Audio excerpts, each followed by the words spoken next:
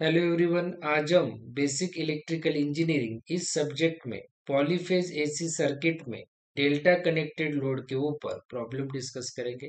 सो so, problem discuss करने से पहले सभी से नम्र निवेदन है कि चैनल लाइक कीजिए शेयर कीजिए और सब्सक्राइब ज़रूर कीजिए। तो चलिए स्टार्ट करते सो स्टूडेंट सबसे पहले आपको स्टेप uh, वन में गिवन डेटा लिखना है students given data right so given data में सबसे पहले आपको यहाँ पे लिखना है डेल्टा कनेक्टेड लोड। कौन सा लोड दिया हुआ है स्टूडेंट्स आपको? Delta connected load, right? यहाँ पे।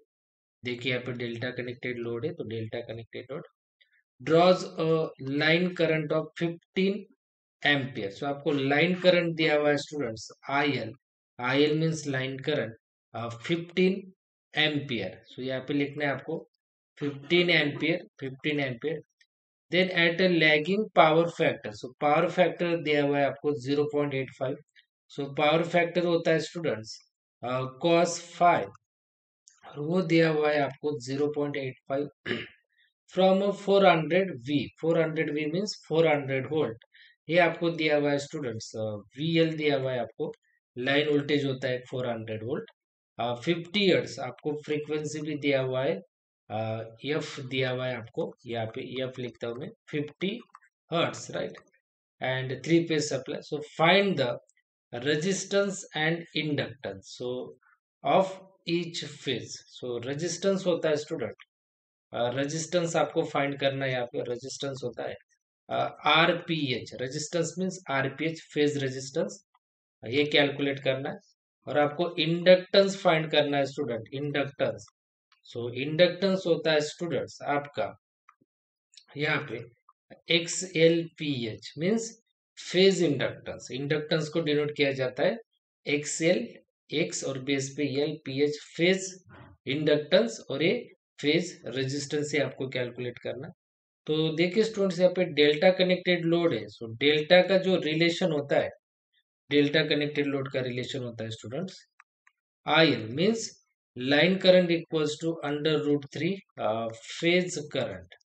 I L equals to under root three IPH ये होता है डेल्टा में लाइन करंट का रिलेशन। और वीएल होता है स्टूडेंट्स वीएल होता है VPH VL means line voltage equals to क्या होता है? Phase voltage. और आपको वीएल दिया हुआ है four hundred volt so VL equals to VPH होगा स्टूडेंट्स फोर हंड्रेड वोल्ट ये ध्यान में रखिए। डेल्टा में लाइन करंट इक्वल्स टू क्या होता है? Under root three IPH means line current equals to root three times phase current. और लाइन वोल्टेज इक्वल टू क्या होता है? फ़ेज़ वोल्टेज डेल्टा में। सो लाइन वोल्टेज कितना है स्टूडेंट 400 वोल्ट तो वही होगा स्टूडेंट आपका फ़ेज़ वोल्टेज 400 वोल्ट राइट अब अब स्टूडेंट देखिए यहाँ पे। अब हम फाइंड करेंगे स्टूडेंट्स रेजिस्टेंस आरपीएच और inductance XL PH student so इसके लिए आपको फॉर्मूला पता होना चाहिए स्टूडेंट फॉर्मूला देखिए यहाँ पे मैं पहले ये फॉर्मूला लिखता हूँ आरपीएच फाइंड करने के लिए. सो so, आपको एक कॉस फाइव का फॉर्मूला होता है student cos phi equals to R P H upon Z P H और एक फॉर्मूला होता है स्टूडेंट साइन फाइव का sine phi equals to X L P H upon यहाँ पे Z P H right so ये दोनों फॉर्मूले स्टूडेंट ही आपको लर्न करने। इस फॉर्मूले से आप आरपीएच फाइंड करोगे स्टूडेंट और इस फॉर्मूले के साथ आप एक्सेल पीएच फाइंड करोगे। आरपीएच मीन्स रेजिस्टेंस फाइंड करोगे और यहाँ पे इंडक्टेंस फाइंड करोगे स्टूडेंट तो इसके लिए आपको क्या चाहिए स्टूडेंट जेड पी एच देखिए सो देखिए यहाँ पे इसे मैं कहूँगा इक्वेशन वन और इसे मैं कहूँगा इक्वेशन टू सो देखिए यहाँ पे स्टूडेंट तो सबसे पहले ये जो फॉर्मूला है I L equals to root three I P H वो मैं लिख लेता हूँ। I L equals to under root three I P H तो आई एल कितना स्टूडेंट्स आपके पास? देखिए यहाँ पे फिफ्टीन एम्पियर सो फिफ्टीन ये रूट थ्री इक्वल्स टू की साइड आते तो होगा divide fifteen upon root three और equals to I P H देखिए ना इक्वल्स टू के इस साइड रूट थ्री आते तो होगा डिवाइड सो ये अगर आपने कैलसी पे किया स्टूडेंट तो इसका आंसर मिलेगा। Eight point six six equals to IPH तो आईपीएच का आंसर आएगा स्टूडेंट आईपीएच का eight point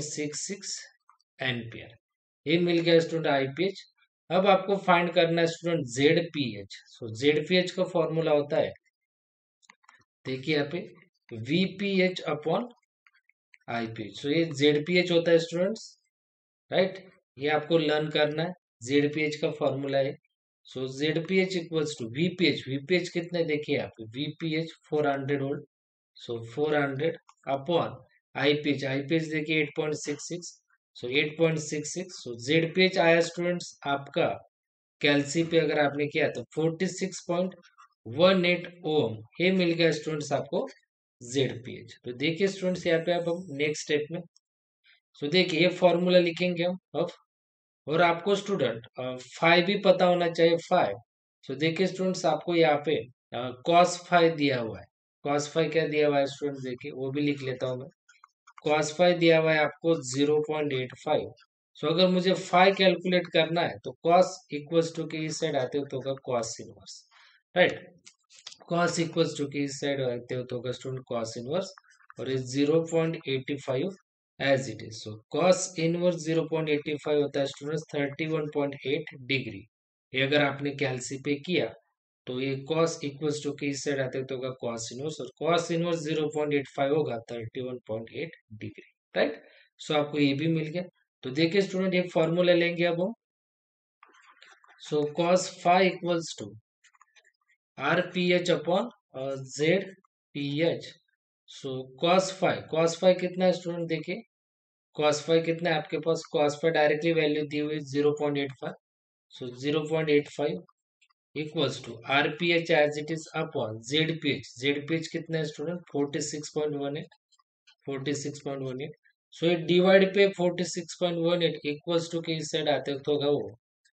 zero point eight five को multiply so forty six point one eight यहाँ पे डिवाइड पे इक्वल्स टू के इस साइड आते तो होगा वो मल्टीप्लाई और इक्वल्स टू यहाँ पे आरपीएच ये अगर आपने कैलसी पे किया student so zero point eight five zero point eight five into forty six point one eight so आपको आंसर मिलेगा स्टूडेंट से thirty nine point twenty five equals to RPH so RPH में इक्वल्स टू के इस side में लिखता हूँ RPH equals to thirty nine point twenty five O so ये मिल गया स्टूडेंट्स आपको रजिस्टर्स तो स्टूडेंट अब हम फाइंड करेंगे स्टूडेंट्स इंडक्टर्स मींस ये सो देखिए फॉर्मूला यहाँ पे लिखा है मैंने so sine five equals to X M P H upon Z P H so sine as it is right sine as it is five कितना है students five thirty one point eight so thirty one point eight equals to ये X L P H as it is upon Z P H Z P H कितना है?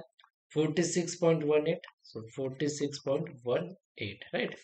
So next step so sine uh, 31.8 as it is. यहाँ पे divide पे equals to की इस side आते तो होगा multiply so forty six point one eight equals to X L P H so ये अगर आपने कैलसी पे किया स्टूडेंट्स सो so, आपको आंसर मिलेगा twenty four point three five equals to X L P H so X L P H आएगा students आपको twenty four point three five ohm so ये मिल गया स्टूडेंट्स आपको इंडक्टेंस तो स्टूडेंट हमने रेजिस्टेंस और इंडक्टेंस अब भी फाइंड किया। आगे if the same load is now connected in star तो देखिए, अभी उन्होंने कहा कि सेम लोड कनेक्ट कर रहे हम स्टार को। सो यहाँ पे लिखूँगा मैं star connected star connected load और स्टार कनेक्टेड लोड में होता है स्टूडेंट रिलेशन लाइन वोल्टेज होता है अंडर रूट थ्री वीपीएच और लाइन करंट होता है students equals to phase current so line current equals to phase current ये रिलेशन है स्टार कनेक्टेड लोड के राइट right? और आपको स्टूडेंट जो गिवन है, वो आपको यही लेना है, जो भी गिवन उन्होंने दिया है। गिवन दिया हुआ है आपको वीएल का। वीएल का गिवन दिया है 400 वोल्ट सो आपको वही लिखना है 400 वोल्ट राइट? और आपको जो यहाँ पे जो जेड पी एच है जेड पी एच वही लेना है। जेड पी एच है forty six point one eight so यहाँ पे मैं लिखूँगा जेड पी एच भी वही लेना है। Forty six point one eight ohm, right? यही। और आपको जो कॉस फाइव दिया हुआ है ज़ीरो पॉइंट एटी फाइव वो जो गिवन है वही लेना है। Cos five equals to zero point eighty five right? Zero point eighty five okay so five क्या होगा स्टूडेंट कॉस इनवर्स ऑफ़ 0.85 वो हमने फाइंड किया था 31.8 सो वो भी हमको यहाँ पे लगेगा 31.8 इतना राइट और ये रिलेशन राइट अब आपको क्या करना है स्टूडेंट फाइंड करने के लिए क्या पूछा है उन्होंने आगे? कैलकुलेट द लाइन करंट और टोटल पावर कंज्यूम सो आपको फाइंड क्या करना है? Line current means I find करना है और पावर फाइंड करना है. ओके, ये फाइंड करने के लिए पूछा था।